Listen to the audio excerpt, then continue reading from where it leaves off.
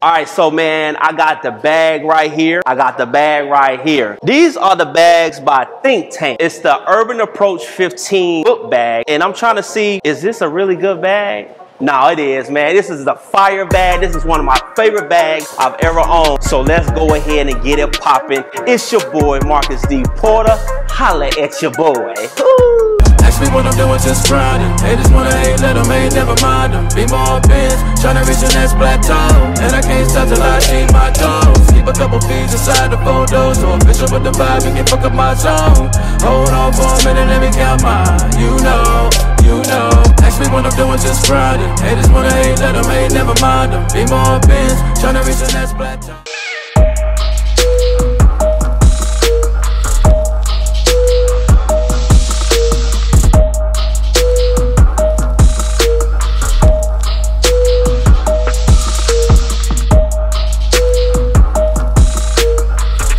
So if you're a photographer out there or you're a videographer, uh, I mean, I think this bag is should probably be in your kit. So let's go through this bag and see why I love this bag so much, okay?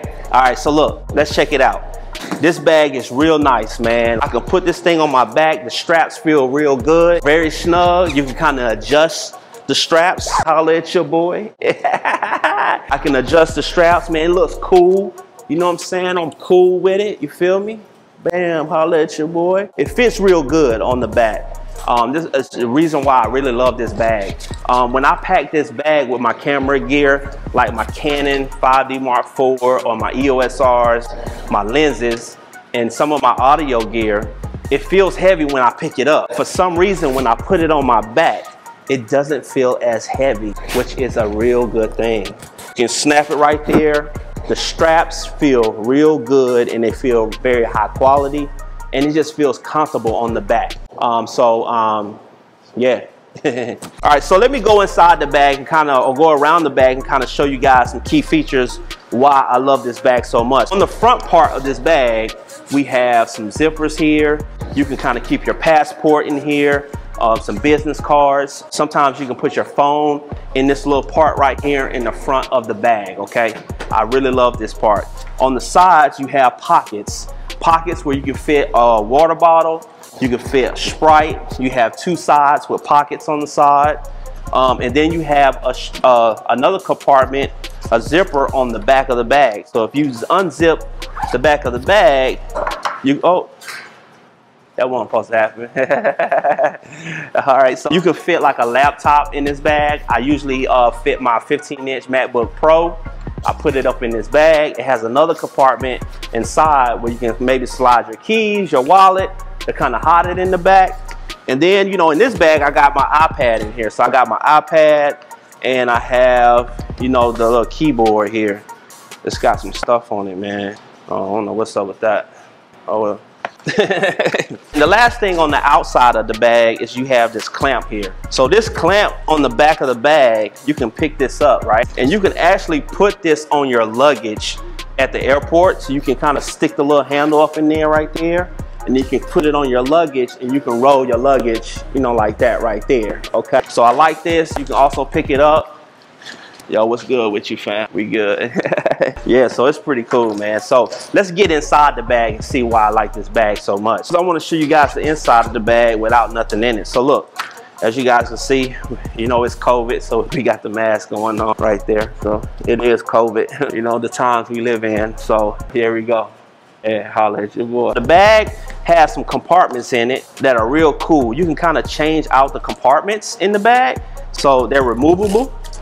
They come already done, but I like how they're already done, but you can change them out. You can fit a 70 to 200 in here. Let me get that right quick. 70, 200, fit that in there. Fits real good, man. Snug right in the camera bag. 7200. You can fit two DSLR cameras. This bag is really made for mirrorless cameras, but I can fit a two 5D Mark IVs in this bag. I usually I usually would have a 5D Mark IV and a 5D Mark III in this bag. Um, but now I have the Canon EOS Rs, the R6s, and you know I can fit a DSLR and a, um, a mirrorless camera in this bag. I can fit some lenses in here. I usually keep my batteries in this compartment. I fit my batteries in here, chargers there, some lenses. Um, we also have like some zippers here. So with these zippers, um, I can store batteries, I can store chargers, I can put my wallet in there. So I got a couple of batteries in there, and stuff like that. And so, you know, you can put some chargers in there. Oh, I'm dropping everything today, man. You know, I don't know what's going on right now. I'm just dropping everything. So we're just gonna kind of set this bag and put it to the side for right now. Oh, let me get this too. Let me get my charger. I don't have two cameras because I have one camera moving here and I got one camera on there and I got another camera on the way. All right, so I got triggers in here. I got this in there. I got battery chargers. I got triggers, batteries. I got my EOS R in here. I got another battery charger. I got a couple of these in there. I got a audio device in there. Got a couple of lenses, another lens, and just a whole lot of junk. My bag is like not clean, so don't judge me, okay? But man, you can put a lot in this bag, man. And when you put this stuff in the bag, it's very snug. It's snug, it doesn't shift around, and you can kind of move these things, these dividers, how you want it to fit in your book bag. Um, I've had this bag for about three or four years and I take it everywhere I go. Um, whether I'm out on the shoot, um, I can lay on it, I can um, sit on it, I can even strap some extra um, reflectors and clamp it to my bag. I could put a tripod on the one on the side. Um, and the zippers are just built real nice, very durable. Um, it's got so many pockets for storage. Um, it's just a real good all around bag, man. So much in love with this bag that I bought a second bag. And I know there's other cool bags out there. This bag is just very durable. It's very, it, it will get the job done. It's rugged.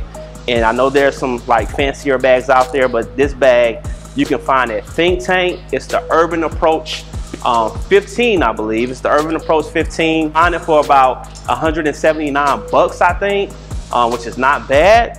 And you know, shout out to the guys at Think Tank for creating such wonderful products, man. So if you don't have a camera bag and you need a camera bag and you got the little money to spend for a camera bag, you can get this from Think Tank.